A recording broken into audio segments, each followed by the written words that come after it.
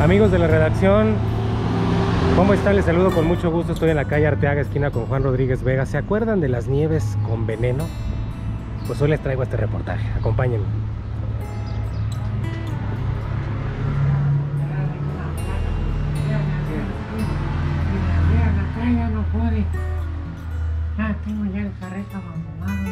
Señor, eh, ¿cu- ¿cuántos años lleva usted o cuántos años duró vendiendo sus nieves con veneno?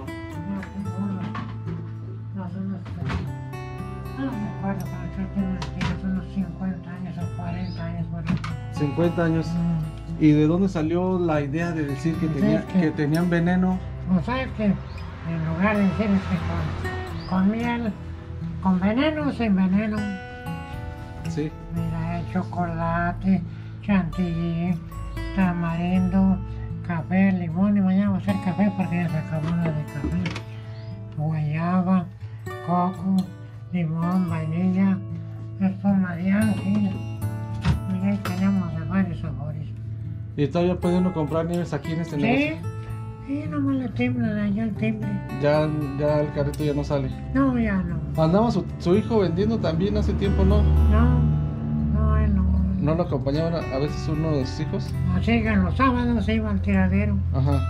Y es que cuando, cuando iba al tiradero me ayudaban a llevar el carrito y a traérselo. Y ellos los que me daban a- los sábados y, y todos me, me decían hace poco, si quieren le llevamos el carrito y lo llevamos y luego lo traemos y le traemos el carrito para que venda los sábados ahí en el tiradero, pero bueno, ya no puedo. Se aventó 50 años o más vendiendo nieves. Pues por ahí como unos 50, porque empecé a vender en mi tierra, en Betania, Jalisco, y ya vendía nomás los domingos, con un carnal que ya murió, en paz descanse, cual que me enseñó y ahí empezamos a, seguir la, la tradición, y ya ellos, los hijos, saben, los reyes, y este, es que como es de la forma que pues alguien pues para ir comiendo. Sí. Este, y la gente se le acercaba y le pedía nieves. Este, ¿cuál era el sabor preferido? Es que les gustaba mucho.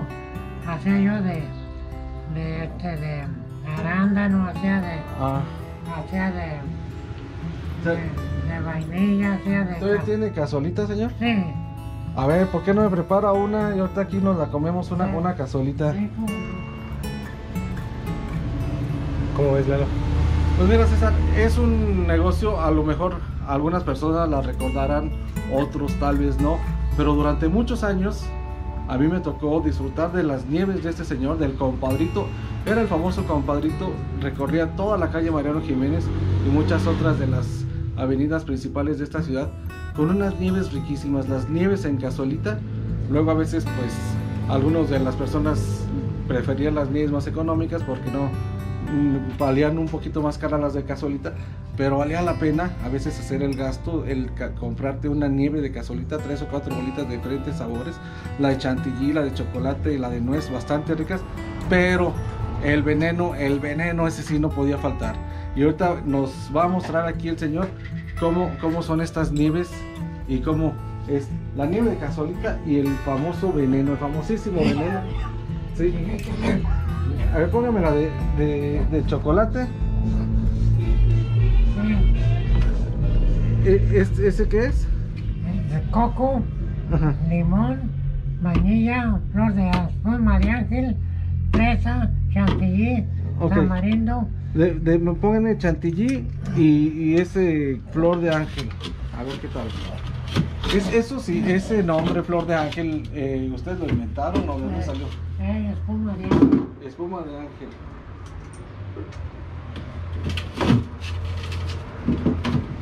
Tal vez algunos no lo recuerden en lo que prepara la nieve, pero este, mira, este era el famoso carrito que recorría las calles de la ciudad. Incluso aquí tiene el letrero Yankees Cine Diana. Tenía una pequeña sombrita, pues obviamente para que no se le derritieran las nieves. Y me va a tomar la libertad, señor, ¿me permite? Aquí era donde guardaba él sus utensilios, sus conos, sus nieves, ¿sí? y acá A este. ver, ahí le está poniendo el veneno.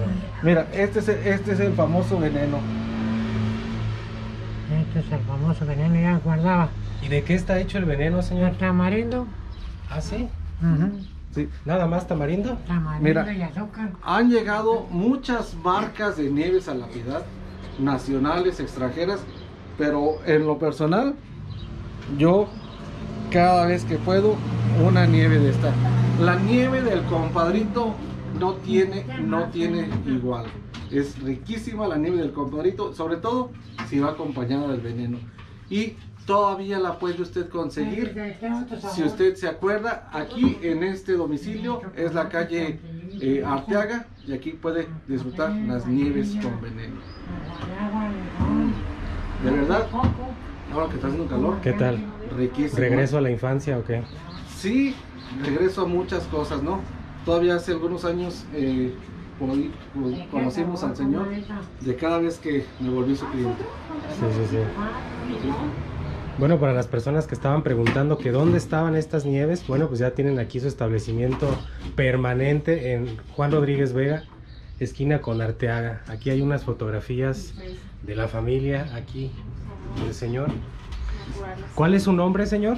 Guadalupe Asensio, Guadalupe Asensio. Barba. Muy bien. Ese es su verdadero nombre. Lo conocen como el compadrito o como las nieves del veneno. El compadrito, los, todos los niños de las escuelas salían corriendo a comprar nieves del compadrito. ¿En cuánto está dando esta cazuelita, señor? ¿20 dólares? 20 dólares. ¿Qué tal? A ver, A pruébala. ver, yo nunca había probado las nieves del compadrito. No. No. ¿Qué se vuelve a? A ver, Ah, este, deme, deme la tradicional, lo que más se le haya pedido durante toda su historia. Quiero ser parte del imaginario social de esta ciudad. Esa y vainilla. ¿Sí? Sí, sí. La frase, ¿cómo era, señor? 20 dólares y la propina Y la aparte. propina aparte. Mm. ¿Era su frase, señor? Si me la dan juntas, se me revuelven. Si se le das juntas, se le revuelve. Y ya separada, ya sé cuál es la propina. Oh, me divertí yo mucho. 50 años. ¿Cuántos tiene usted ahora? Sete- 71, 78, voy en 70 y... No, verás. Pues, no me recuerdo, soy del 43. No recuerdo bien si entré en los 79 o, o ando en los 78. Entonces, desde que tenía como que 28 años, más o menos, empezó con esto. eso. ¿Y, y de usted cómo aprendió a hacer la nieve? Un hermano que falleció, Ah, sí, empezamos a trabajar y él me enseñó a cómo hacerla y, y ya de ahí siguió la tradición.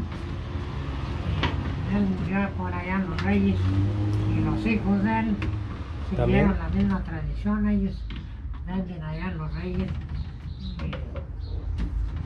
y, este, muy bien. Entonces, muchas personas de su familia se dedican a las nieves. Sí, sí, yo tengo un sobrino que acaba de morir, ese vende hielo, este, de ese que es raspado. Oiga, señor, ¿y cómo es que nació ponerle veneno así a la salsita esta? Bueno, al dulce, Ah, más no, bien. Pues es que ya ves que le viene uno, pues con veneno es veneno, y ya échale No, veneno. ¿Nomás se le ocurrió o qué? Sí. ¿Fue un cliente el que dijo o fue usted? No, usted decirles con veneno, sin veneno, no, no le ponga veneno. Y luego ya, ya lo que le pegaban, no me le pone eso poquito más. Y pues ahí, ahí comenzó el veneno, el compadrito con y el señor del veneno. Y ahí comenzó la, la tradición del compadrito, la- con veneno o sin veneno.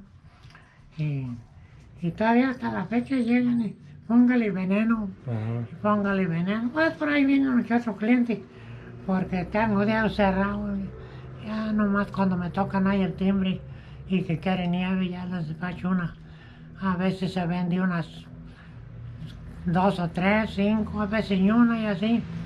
Es que cuando tuvieran la puerta abierta, eh, a lo mejor podía vender más, pero pues no, ya no puedo, ya. Nomás con los que vienen por ahí que, oiga, no vende nieve, sí. A veces quieren un medio litro, un vasito. Ahí tengo vasitos chicos de, de a 10, de a 15, de a 20, 30, de a 50 y de segunda como van pidiendo. Y este, ¿Y a usted cuál es la nieve que más le gusta? pues yo, no, fíjate que yo estoy amolado, el hago y no puedo comerla. Me fregué del, del galillo porque yo trabajé en la, en la cervecería La Corona en México y bien caliente, bañé en sudor y la cerveza sudando y me fregué la. Ay, es que ya no frío, me, me da la tos. Y antes no, antes era yo, la, la, como dicen por ahí, primero mole la, la nieve. Y ya no, pues ya no pude frío. Siempre cuando hace mm, calor bastante, me como un barquillito, pero ahí me lo voy así, chupando poco a poquito porque pues ya me hace pues mal, me da la tos por lo frío. Y yo me fregué la garganta no, por tomar cosas tan, yo bien caliente y bañado en sudor. Y la cerveza se está sudando de hielo y pues éntrale. Tantos años de recorrer las calles de la ciudad, Oh, ¿qué fue lo que más aprendió? o sea, es que, mira, lo que yo aprendí a andar conociendo la mayoría de las escuelas de la ciudad porque agarraba la escuela que está de aquel lado de, de que la colonia esa nueva que hicieron frente al cine Diana y luego ya me venía a la Purísima, a la del Panteón, me iba a la Club de Leones, me iba a la, a la ETI, a la 20 y, luego ahí por las calles, ahí andaba yo por la Santa Fe, las Tres Estrellas, ahí no andaba por varias partes de la ciudad, por Santana, anduve por banquetes y todo eso recorría, después dejé todo eso para allá y ya me dediqué acá para este rumbo nomás. Y en esos tiempos que, que empezaba nuevo, podía andar Y ya después, este, pues empecé yo a ver que para allá había mucho, pues problemillas con los vaguillos y ya de salir para la orilla. Y nunca me llegaron a hacer nada. Donde me hicieron fue allá por lado de la, de las 70. ¿Le robaron? Mm, Más bien ahí por la... Hey, me golpearon, me robaron un reloj. Y este... Ya después, eh, pues andaba yo vendiendo, pero... Pero ya no daba gusto, porque había mucho malandrín para allá. Y pues pensé, dije, hombre, y yo de arriesgando que me den un golpe más o le vaya a dar yo un golpe a uno y pues mejor me retiro de, de vender en la colonia esa. Y ya le cambié ya, ya no fui para allá. Y es que pues ahí donde quiera hay pues peligro pero ya después cuando me quit por agarraba la Juárez digo María este Juan Rodríguez Vega bajaba Mogono agarraba a Mariano Jiménez y era mi ruta hasta la Ford y de la Ford agarraba por el Boulevard era mi ruta y me regresaba y de regreso venía por las 5 de mayo y ya ahí me la pasaba yo tranquilo nomás que pues ya todo se acaba pues en esta vida Sí. ya ahorita ya no puedo con las rodillas ya los brazos tampoco ya no hay fuerza Muy bien, señor. Pues muchas gracias por esta entrevista. Eh, cóbreselo las debes, tengan cómo no, no, no, no, no, ya sabes que yo y tú somos amigos no.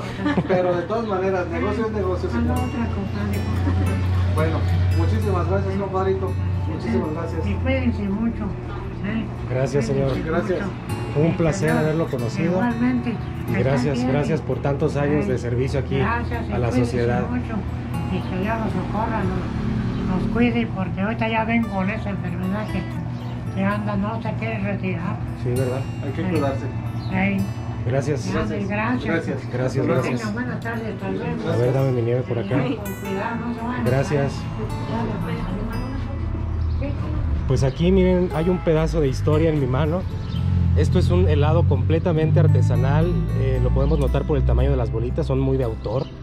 Es un platillo de autor que aparte tiene pues eh, esta cubierta de tamarindo que se le conoce como el veneno.